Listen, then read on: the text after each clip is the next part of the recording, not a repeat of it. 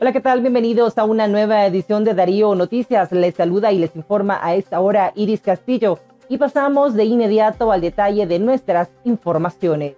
Régimen aplica guillotina a la Asociación de Scouts de Nicaragua y confisca histórica fortaleza del Coyotepe y terrenos aledaños.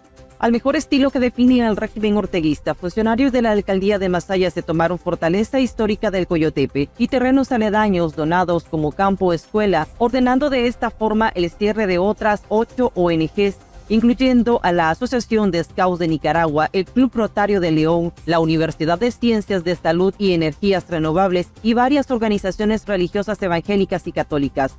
Con esto se eleva a 3.230 el número de organizaciones sin fines de lucros clausuradas por la dictadura desde el 2018, en su mayoría invocando que no llevan sus libros en regla que no tenían una junta directiva legal o que no habían presentado algún informe a tiempo. Muchas de esas organizaciones cerradas argumentaron que el mismo Ministerio de Gobernación se negó a recibirles los documentos para fabricar una excusa para cerrarlos. La decisión llega en plena celebración de la Semana Scouts, periodo en que los más de 40 millones de Scouts que hay en el mundo realizan actividades para celebrar el aniversario del natalicio de sus fundadores. Los Scouts surgieron en Nicaragua en la ciudad de Bluefield en 1917, cuando el adolescente Aubrey Campbell Ingram se reunió con el pastor moravo José Harrison para formar una tropa que pasó a llamarse Morava. El movimiento Scouts llegó al Pacífico de forma independiente en los años 30, cuando se fundó una tropa de Scouts en Granada, desde donde se extendió por el resto del país. Estados Unidos pasa factura a aliados de Daniel Ortega y Rosario Murillo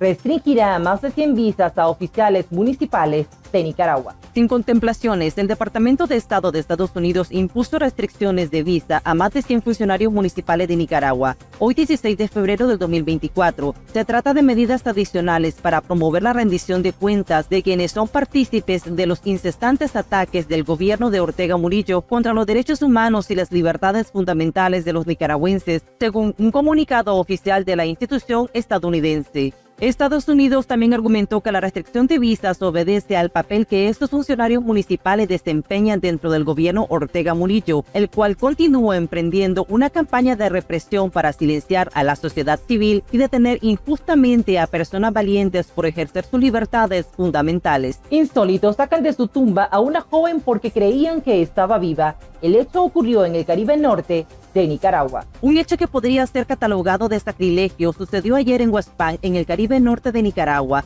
Los familiares de la joven María López, de 24 años, la desenterraron luego de haberla sepultado el 12 de febrero, tras fallecimiento, pues creían que estaba viva. Tras sacarla de su tumba, trasladaron el cadáver hasta su casa, lo que provocó enorme revuelo en la comunidad. Al darse cuenta lo que pasaba, el director de gestión de riesgo de la alcaldía de Huaspán explicó a un medio oficialista que los familiares de la joven llevaron su cuerpo hasta una comunidad llamada Saclin para que un médico tradicional de la etnia evaluara el cuerpo y certificara que sí realmente había muerto ya que según ellos veían lágrimas de sudor en la frente de la difunta, sin embargo, aclaró que un médico del hospital de la zona confirmó el fallecimiento de la muchacha. Luego de ello, las autoridades ordenaron que la joven fuera enterrada inmediatamente. Y continúan los ataques a la Iglesia Católica de Nicaragua. La investigadora Marta Patricia Molina aseguró que más de 400 viacrucis fueron suspendidos en el país.